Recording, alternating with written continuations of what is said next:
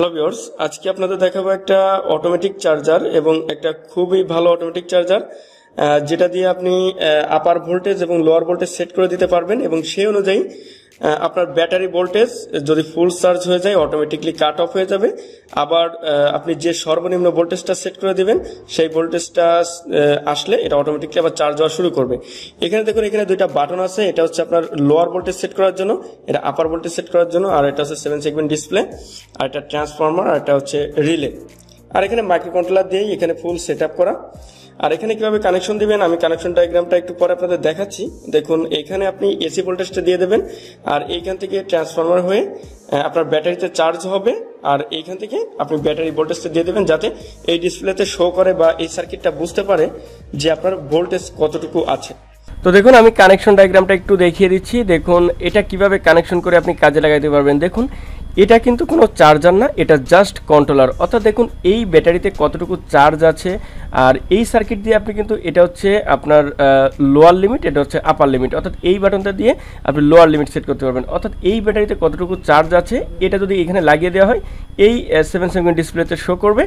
আর আপনি এই বাটন দিয়ে যেটা সেট করে দেবেন সর্বনিম্ন সেই যে ভোল্টেজ সেট করে দেবেন, ওই ভোল্টেজের নিচে আসলেই কিন্তু আপনার চার্জ হওয়া শুরু করবে। আর এবং এটা এখানে যে আপার ভোল্টেজটা সেট করে দেবেন, এই ভোল্টেজের উপরে গেলে সেটা আবার অফ হয়ে যাবে। অর্থাৎ দেখুন, এই সার্কিট দিয়েই কিন্তু আপনি পুরো চার্জারে পাওয়ার দেবেন, তারপর ব্যাটারিতে চার্জ করবেন। কীভাবে আমি আপনাদের বুঝিয়ে দিচ্ছি? দেখুন এই সার্কিটে আপনি দুশো বিশ ভোল্ট কানেকশন করবেন, তারপরে এখানে আপনি যেটা সেট করবেন আপনি যে লোয়ার লিমিটটা সেট করবেন, তার নিচে যদি ভোল্টেজ চলে যায়, অর্থাৎ এই ব্যাটারি ভোল্টেজ চলে যায়, তাহলে কী হবে? এইখান থেকে আমার কানেকশন করে দেবে এইখানে, অর্থাৎ এইখানে পাওয়ার আসবে। আর এইখানে পাওয়ার আসলে আপনার এইখানে যে অ্যাডাপ্টার রয়েছে বা চার্জার রয়েছে, এই চার্জার থেকে আমার এই ব্যাটারিতে চার্জ হবে। আর যখন এটা দিয়ে যে আপার লিমিট সেট করে দেবেন, এই আপার লিমিটের উপরে যখন চার্জ হইতে হইতে ভোল্টেজটা এইখানে যে আপার লিমিট রয়েছে, এই আপার লিমিটের উপরে চলে যাবে। এটা দিয়ে আপনি যেটা সেট করে দেবেন তার উপরে চলে যাবে, তখন কিন্তু এইখান থেকে ভোল্টেজ এখানে আর আসবে না। অর্থাৎ কাট অফ করে দেবে, তখন কিন্তু অ্যাডাপ্টারে আর ভোল্টেজ আসবে না আর এতেও চার্জ হবে না। ওকে আবার যখন এখান থেকে আপনি চার্জটা ক্ষয় হবে বা আপনি যেটা ইউজ করবেন, তারপর যখন আবার ব্যাটারি ভোল্টেজ কমে যাবে, তারপরে কী হবে? আবার এটা অটোমেটিকলি এখান থেকে এখানে কানেক্ট করে দেবে, তারপর এইখানে আপনার পাওয়ারটা আসবে, তারপর এখান থেকে ব্যাটারি চার্জ হবে। এভাবেই এটা কন্ট্রোল হয়। আশা করি এটা বুঝতে পেরেছেন। এখন কথা হচ্ছে, এই সার্কিট দিয়ে আপনি কত ভোল্টেজ কন্ট্রোল করতে পারবেন? ওকে দেখুন, এই ব্যাটারি দিয়ে, অর্থাৎ আপনি এখানে যে ব্যাটারি ভোল্টেজ লাগাবেন, সেটা থ্রি পয়েন্ট সেভেন থেকে একশো বিশ ভোল্টেজ পর্যন্ত এখানে দিয়ে আপনি কিন্তু এই সার্কিটের মাধ্যমে কন্ট্রোল করতে পারবেন। তো আশা করি আপনারা বুঝতে পেরেছেন। তো দেখুন, এখানে আমি কানেকশন দিচ্ছি এটা হচ্ছে আমার এসি ভোল্টেজ আর এই পাশ থেকে আমি ব্যাটারি কানেকশন বা ব্যাটারি কানেকশন হিসেবে আমি দেখুন, এখানে একটা পাওয়ার সাপ্লাই নিয়েছি, যেটা দিয়ে আমি ভেরি করে আপনাদের দেখাবো যে এখানে কত ভোল্টেজ আছে। তো দেখুন, আমি এখানে পাওয়ার দিয়ে দিচ্ছি আপনাদের দেখাচ্ছি। এখানে পাওয়ার দিলাম আমি।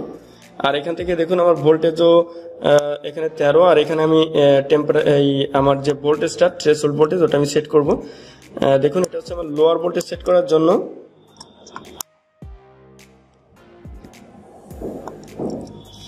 দেখুন তেরো পয়েন্ট থ্রিতে আছে। দেখুন আমি একটু বাড়াচ্ছি। ওকে এই যে দেখুন, আমি ভোল্টেজ যেটা সেট করব, এটা এটা চেপে ধরতে হবে, চেপে ধরলে এটা ব্লিঙ্ক করবে। তারপর যদি আপনি বাড়াতে চান, অর্থাৎ যে ভোল্টেজ সেট করে দিতে চান, দেখুন এখন আছে তেরো পয়েন্ট সেভেন এটা আবার চলে যাবে কিন্তু কিছুক্ষণ পরে।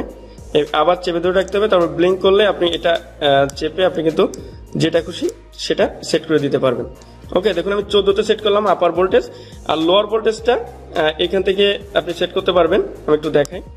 এই যে দেখুন, এইখান থেকে এগারোতে দেওয়া আছে, আপনি এদিক ওদিক চেপে কিন্তু আপনি কম বেশি করতে পারবেন।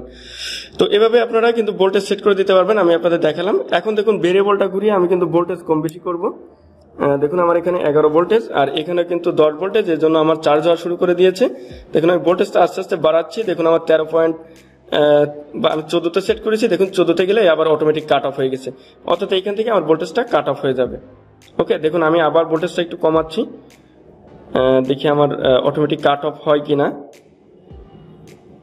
ওকে দেখুন ওকে দেখুন, আমার চার্জ কিন্তু আবার শুরু হয়ে গেছে, অর্থাৎ আমার ব্যাটারির ভোল্টেজ কমে গেলেই বা চার্জ কমে গেলেই কিন্তু এটা অটোমেটিকলি আবার চার্জ হওয়া শুরু করবে। ওকে দেখুন, আবার আস্তে আস্তে আমি বাড়াচ্ছি, অর্থাৎ মনে করেন ব্যাটারিতে চার্জ হচ্ছে বারো পয়েন্ট নাইন বারো পয়েন্ট সিক্স তেরো পয়েন্ট থ্রি দেখুন, আমি আস্তে আস্তেই বাড়াচ্ছি। আপনারা যাতে বুঝতে পারেন এবং এটা খুবই ভালো একটা সার্কিট যে দেখুন চোদ্দতে গেলে এটা অটোমেটিকলি কাট অফ হয়ে গেল। অর্থাৎ আপনার কিন্তু ট্রান্সফরমারে পাওয়া যাবে না। চার্জারের ভোল্টেজ থাকবে না, আপনার ব্যাটারি তো আর চার্জ হবে না। অর্থাৎ এটা হচ্ছে ফুল চার্জ হয়ে গেলে। তা আশ- আশা করি আপনারা বুঝতে পেরেছেন। আর এটা দিয়ে জাস্ট আপনাদের দেখালাম ভোল্টেজটা সেট করে ভেরি করে। আর এইখান থেকে হচ্ছে আপনার ব্যাটারি ভোল্টেজ দিতে হবে। ব্যাটারি এটা লাগাই দিতে হবে। ওকে ধন্যবাদ সবাইকে।